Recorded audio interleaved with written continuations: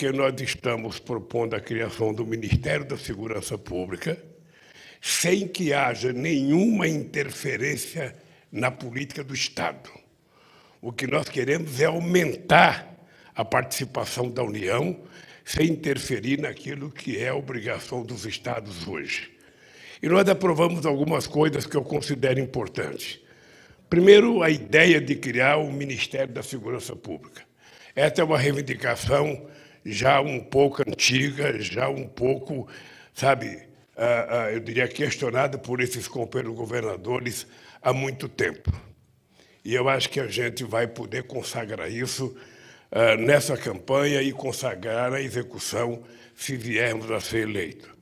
Depois nós vamos criar o SUSP, um Sistema Único de Segurança Pública, que vai incluir o Ministério Público, vai incluir a Defensoria Pública e vai retomar o programa o Pronace e, sobretudo, dentro do Pronace, retomar as bolsas que a gente tinha para melhor formar os policiais.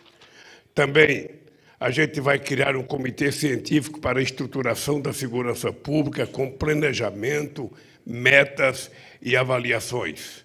A retomada do Estatuto do Desarmamento, aprovado num plebiscito que vocês participaram acordo com os países vizinhos no combate ao tráfico de drogas e uma política integrada nas fronteiras e parcerias com as Forças Armadas. Assegurar a liberação de recursos do Fundo de Segurança Pública e o Fundo Penitenciário. Esse fundo é importante lembrar que ele já existe há muito tempo, mas me parece que nunca foi usado, ou pelo menos nunca foi liberado para os governadores, e nós vamos então fazer esse fundo funcionar de verdade para melhorar a segurança.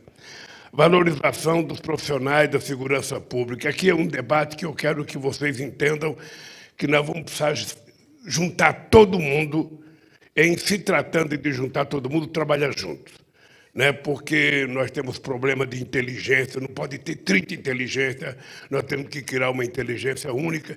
A nossa inteligência será integrada, monitoramento ao combate e movimentação financeira das organizações criminosas, que é um poder que nós precisamos quebrar, porque se a gente não quebrar o poder financeiro das organizações criminosas, fica muito mais difícil vencer vencê-las. Reorganizar o sistema penitenciário, separando presos por grau de periculosidade, com trabalho e educação para a ressocialização. Décimo, nós vamos retomar a Conferência Nacional de Segurança Pública e criar mecanismos novos de participação.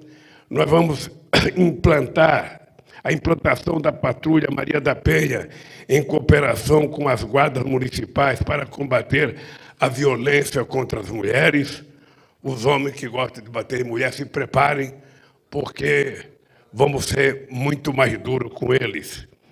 A tecnologia de monitoramento eletrônico para a segurança pública, escolas em tempo integral.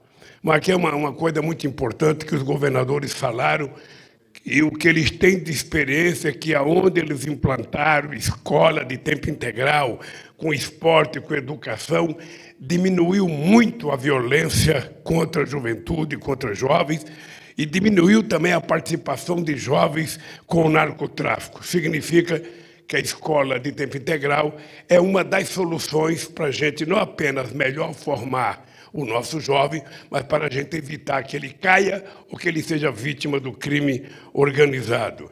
E também nós vamos fazer uma coisa importante, que é criar Universidade Pública Federal de Segurança Pública.